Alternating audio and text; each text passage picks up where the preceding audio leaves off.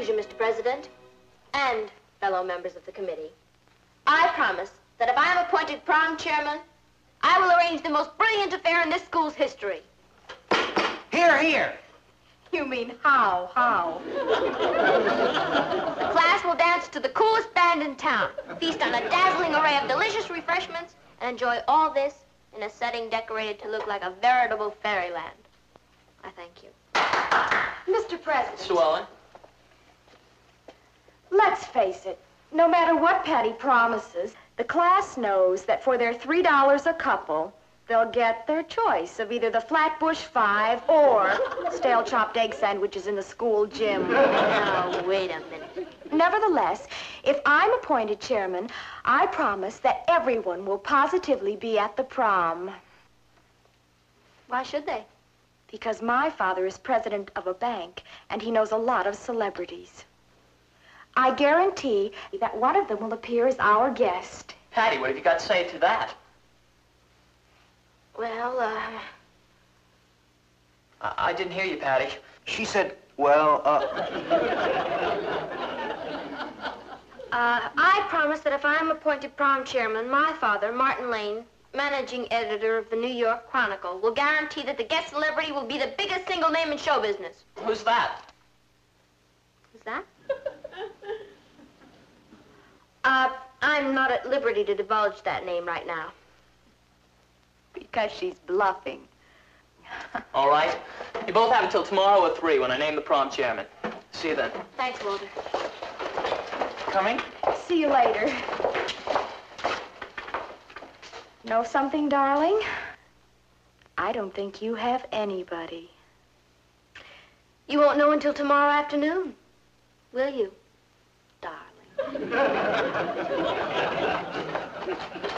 Boy, you sure told her off. I sure did. By the way, who'd you get for the prom? How am I supposed to know?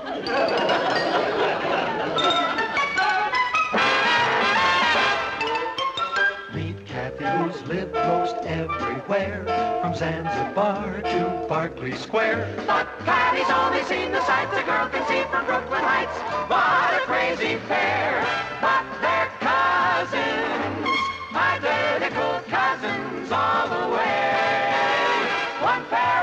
Matching bouquets, different as night and day. Where Kathy adores a minuet, the ballet russe, and crepe Suzette. Our Patty loves to rock and roll, a hot dog makes her lose control. What a wild duet! Still they're cousins, identical cousins, and you find they laugh alike, they walk alike, at times they even talk alike. You can lose your mind when cousins are two of a kind. And so all I need from you is one teeny weeny little celebrity. Can't you see that, Papa? Patty, I'm no Walter Winchell. I don't come in contact with what you call celebrities. But I promised you'd come up with one. Well, then you've learned a lesson. In the future, don't make promises on behalf of other people. Patty, why is it so important that you be chairman of the dance? Because I feel I can do a better job of it. If I run it, we're gonna have a ball. If she runs it, we're gonna have a bomb. Only if I don't get a name, I'll never be able to prove that to them. You could look through the newspaper and see what celebrities are in town and call them. That's a great idea. You see, she's always thinking. Thanks, cousin. I'll do it right now. Excuse me. Kathy, why do you waste your good ideas on her? I can turn them into money. I hope she gets the chairmanship. Well, if it depends on her coming up with a celebrity, I wouldn't count on it. Oh, don't underestimate Patty, Uncle Martin. You have no idea how resourceful she is. Yes, I have, and it terrifies me. Oh. No, no, he wouldn't recognize my name. Well, then, would you please tell him that there's this high school prom and I'm...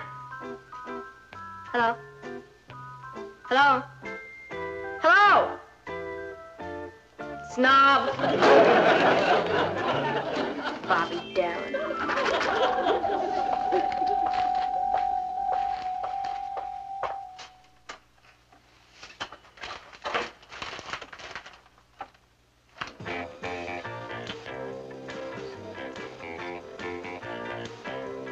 Oh, Have you called anyone yet? yeah, you can forget Bobby Darin. He's too short. Patty, I have to study. Would you mind turning that off, please? What's the mop singing? The mop? What's that? Oh, look, Kathy. I know you're an opera lover, but everybody's heard of the mop. I'm afraid I haven't. What is it? Oh, look at him, Kathy. Isn't he the bitter? He looks like a sheepdog. Don't you dare call Bertram Bristol a sheepdog. Bertram Bristol. Mm-hmm. That's his name. Bertram Bristol. Patty, may I see that album, please? Oh, I don't believe it. You don't believe what? It can't be. But it is. What are you talking about? Binky Bristol. A boy I used to know. You the mop? Mm-hmm. When I went to school in England, we were classmates. You and Bertram Bristol? Yes. He had quite a crush on me. He always used to want to carry my books home from school. Oh, Kathy. I remember one night, he stood outside and serenaded me with his guitar. What did you do? I'm afraid I let go with a pail of water. Even then, he couldn't sing. Kathy! Oh, Binky didn't mind. Imagine. Now he's the latest fad. Bertram Bristol is no fad. Look, look at the paper. He just arrived in New York. Look at all the kids at his hotel. It's incredible. Oh, to be in England now that Binky's here. Well, Kathy, you are going to see him, aren't you? What for? To find out if he's still pining for you. Of course not.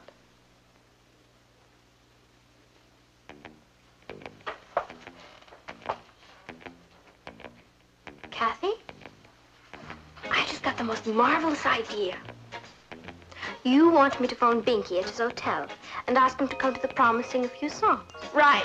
Wrong. I won't do it. You have to. Patty Binky probably won't even remember me. And I'm sure he's far too busy. Look, Kathy, we're cousins, aren't we? And best friends. I'd do anything for you. Yes, Patty. If you were on a ship and fell overboard, wouldn't I jump in to save you? Yes, Patty. And if you were in a burning building, wouldn't I rush in to pull you out? Yes, Patty. And if you were starving, wouldn't I offer to share my last crust of bread? Yes, Patty. Then don't you think it's about time you did something for me?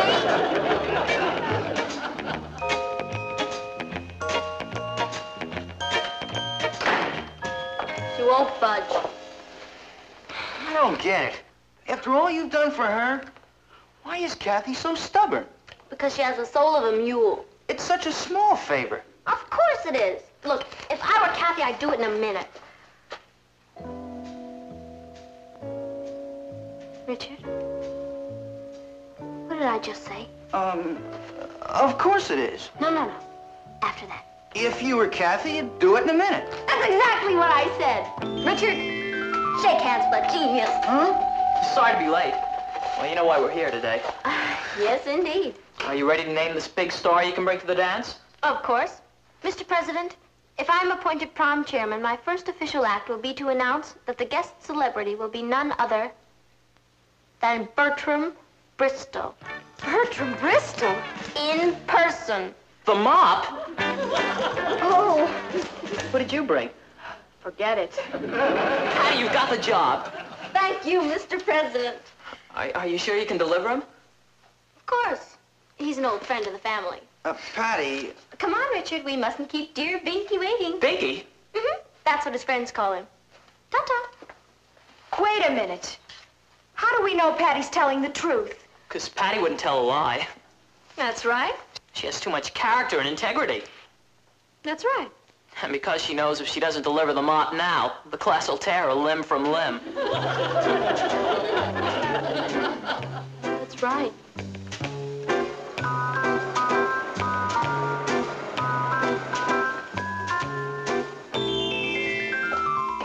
Here it is. 1492. oh, that's the year Columbus discovered America. Maybe that's a good luck omen. Uh, Do you think this is really gonna work? Sure, when I called from the lobby, he said to come right up. Only he thought he was talking to Kathy. Will you stop splitting hairs? He shook my hand. Oh. Now, how can anyone be so Hector? He's just another ordinary human being. Yeah. Uh, are you sure you don't want me to go in there with you, Patty? Oh, positive. I can handle this fine by myself. I'll see you later. Okay.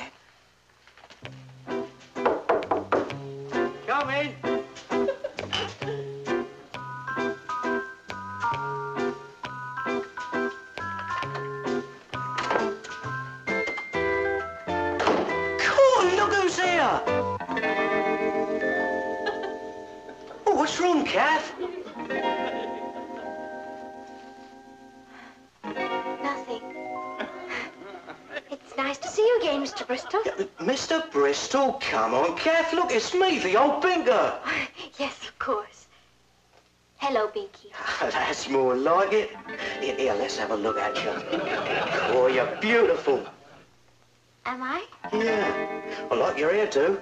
Oh, I love yours. Let's sit down for a bit of a talk, shall we? Come on now. Do you want a drop of tea? No, thank you. Well, no tea. That doesn't sound like my Kathy. Oh, I'd love a cup. Yeah, of course. That's more like it. Here you are, dear. Oops. Little milk. Yeah. Well, it's been a long time, Ducks. Hasn't it, though? Do you ever hear from any of the old gang? Old gang? Yeah, you know, Addie and Pat. Oh, Addie and Pat. Do you remember that night in the hall when I tried to kiss you? Did? How'd you like living here in the States, eh? I love it. I live with my father's brother, Uncle Martin. And I go to school with my cousin, Patty. What a doll. Is she now? You'd love her. Yeah? Oh, I wish I had time to meet her. I think I could arrange that. Binky, my school is giving a dance, and I was hoping you could drop by. Oh, I'd like that, Kath. Honest, I would. Then you come? I just haven't got the time, old girl. Oh, you could just come and say hello and then run. Oh, much too busy, Kath. You see, there's this new album and rehearsing for the telly and... Oh, cool. Blimey, there it goes again. Be back in a jiff. Oh, but you...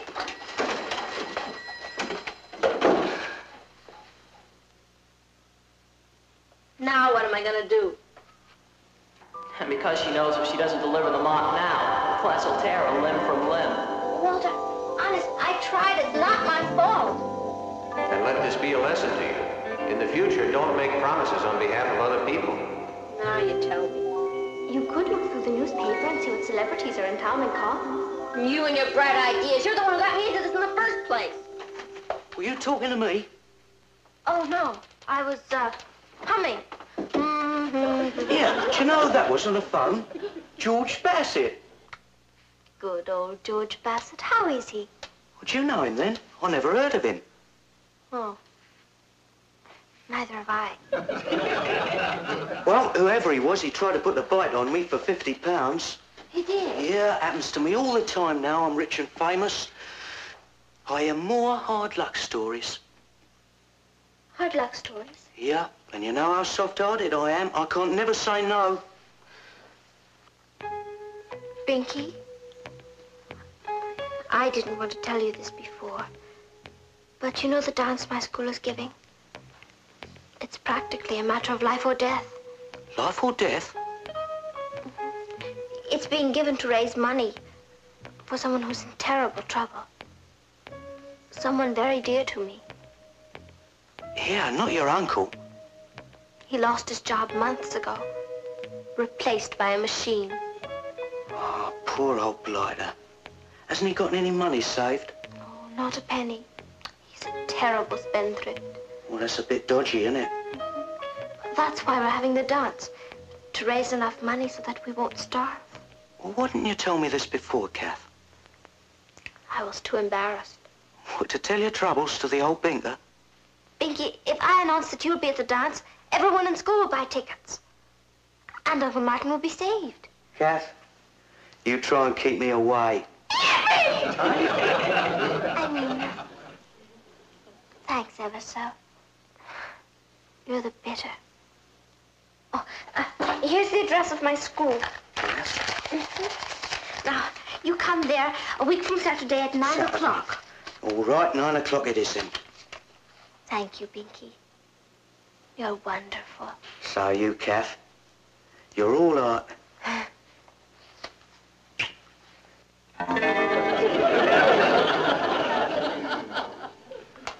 This should sell a million tickets. It's gonna be the most successful prom the school's ever had. It sure was nice of Kathy to get him, wasn't it? Yeah. Hello, Patty. Oh, hi, Kath. We were just talking about you. Were you?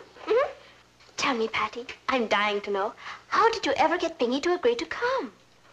Oh, I just went over to his hotel and asked him. And he said yes, just like that? Mm-hmm. Well, you know, all actors are hams. Patty's uh, pretty persuasive. Did you tell him we're cousins?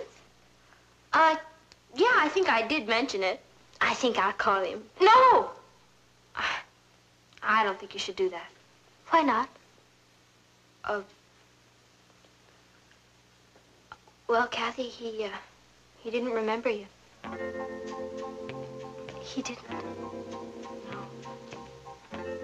Oh, I'm surprised. We were rather close. Well, you know how it is. Well, he's met millions of people. He's a celebrity. Everyone's after him. Well, I'm not. And I'm certainly not going to phone him. That's a good idea. But when I see him at the dance, I'm going to tell him exactly what I think of him. What did the man say? Oh, what a tangled web we weave. He was right. You know, Richard, I think I've done it again. If Binky Bristol shows up at the dance, Kathy's gonna hate me. And if he doesn't show up, limb from limb.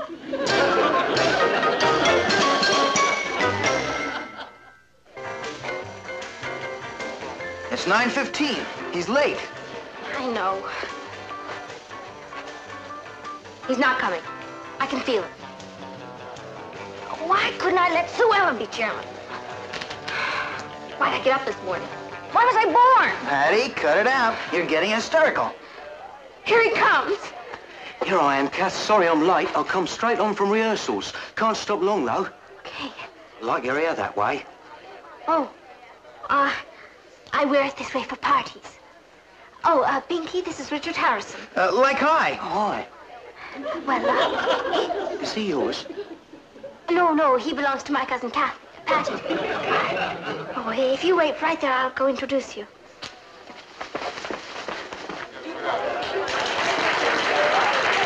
Fellow students, fasten your seatbelts. He's here, the one and only Bertram Bristol.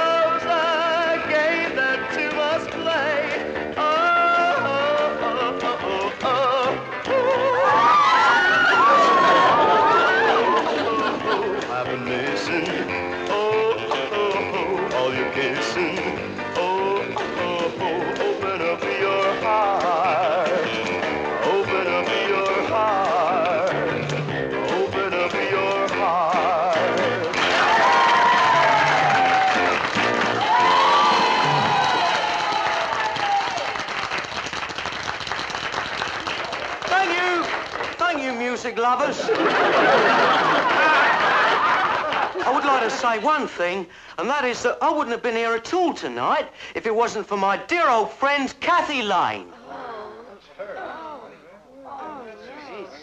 So thanks a lot. You've been a lovely audience. Ta-ta.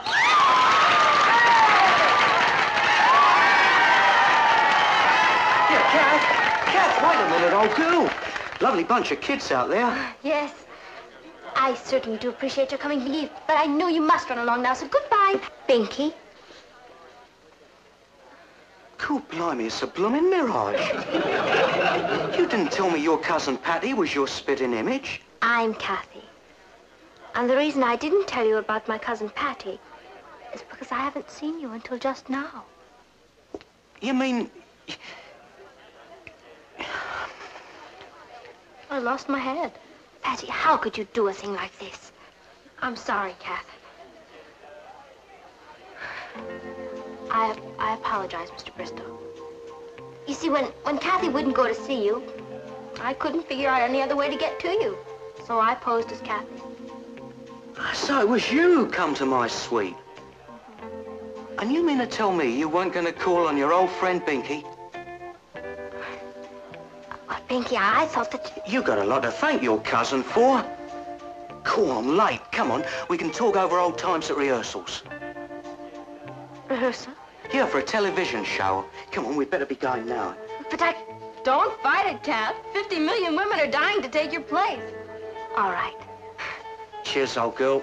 You've done a good deed.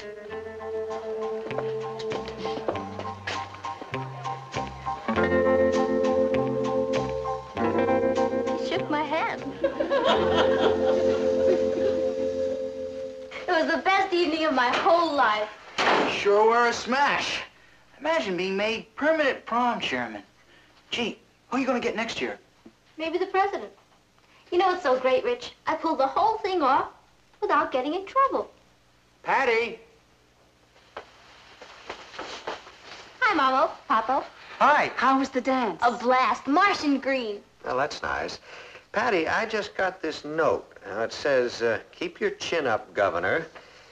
And there was a check for $100 enclosed. Can you explain that? Oh, no. Here's your supper, sis. Oh, thank you, Ross. Put on that bed. You're lucky it isn't bread and water. I deserve it. How long you in for? Six months, with time out for good behavior. Oh, here comes the warden. Excuse me, son. Yes, sir. I'll go downstairs and ask Mom to bake you a cake with a file in it.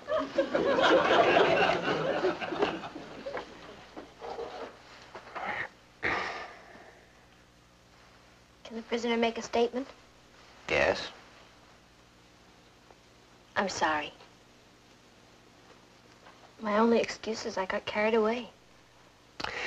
Patty, I understand that what you were doing was for a um, worthy cause, but you behaved outrageously. I acted like a gleep. You lied to Mr. Bristol, you imposed on him shamefully, and you put me in a very embarrassing situation. Yes, sir. So, until further notice, there will be no dates for you. Yes, sir. And I am confiscating all of these albums. This household has heard the last flat note from that British nightingale. Yes, sir.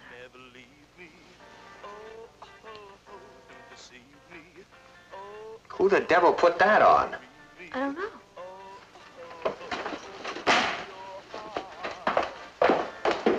Listen, oh, oh, oh, hibernation. Will you throw that thing out of here? Hold your casing.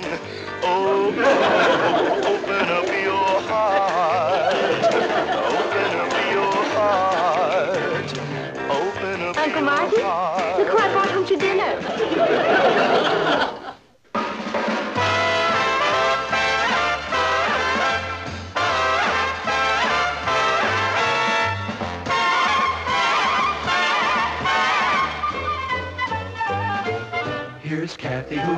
lived most everywhere, from Zanzibar to Berkeley Square. But Patty's only seen the sights a girl can see from Brooklyn Heights. What a crazy pair, but they're cousins, identical cousins, and you'll find They laugh alike. they walk alike, at times they even talk alike. You can lose your mind when cousins are two of a kind.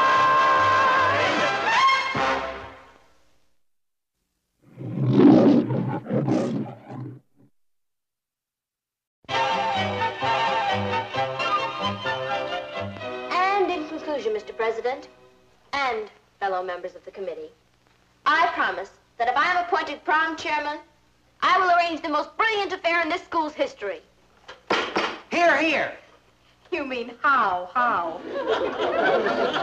The class will dance to the coolest band in town, feast on a dazzling array of delicious refreshments, and enjoy all this in a setting decorated to look like a veritable fairyland.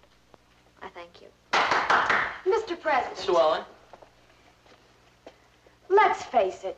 No matter what Patty promises, the class knows that for their $3 a couple, they'll get their choice of either the Flatbush Five or stale chopped egg sandwiches in the school gym. Now, wait a minute. Nevertheless, if I'm appointed chairman, I promise that everyone will positively be at the prom.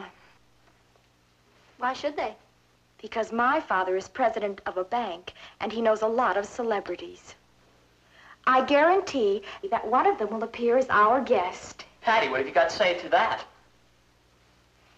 Well, uh, I, I didn't hear you, Patty. She said, well, uh, uh, I promise that if I'm appointed prom chairman, my father, Martin Lane, managing editor of the New York Chronicle, will guarantee that the guest celebrity will be the biggest single name in show business. Who's that? Who's that? Uh, I'm not at liberty to divulge that name right now. Because she's bluffing. All right. You both have until tomorrow at 3 when I name the prom chairman. See you then. Thanks, Walter. Coming? See you later. Know something, darling? I don't think you have anybody.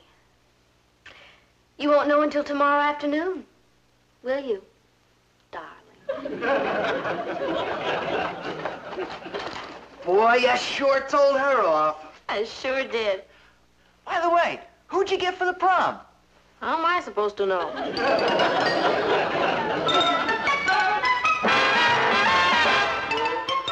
Meet Kathy who's lived most everywhere, from Zanzibar to Berkeley Square. But Patty's only seen the